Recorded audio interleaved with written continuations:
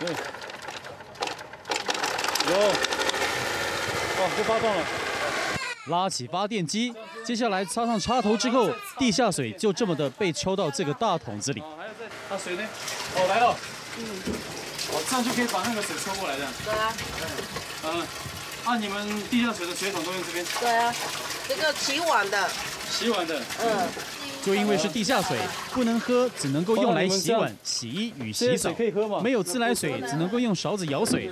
洗碗槽的水混着脏垢。洗衣盆里的水残留着漂浮物，肉眼就能够感受到卫生的问题。而徒步走到地下水的水源头，水源地就在垃圾堆的正下方。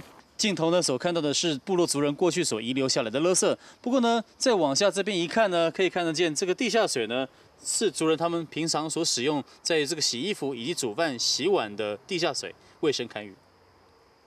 而虽然居民在地下水的滤水池做了简易的滤网，但是就算是经过煮沸，仍然不敢喝。可以喝吗？这个不能喝，一喝下去，我看全身就出毛病了。不能喝，怕全身会出毛病，是因为居民连洗澡也出了问题。洗澡会痒吗？对啊，有时候会很痒啊。会呀。没有经过卫生过滤的地下水，居民卫生品质堪虞。就因为未处于行水区，政府无法在水源地新建滤水的设施。而该如何摆脱用水的困扰？三英桥下福尔摩沙部落的居民也只能够过一天算一天。记者八六五六新北市英歌采访报道。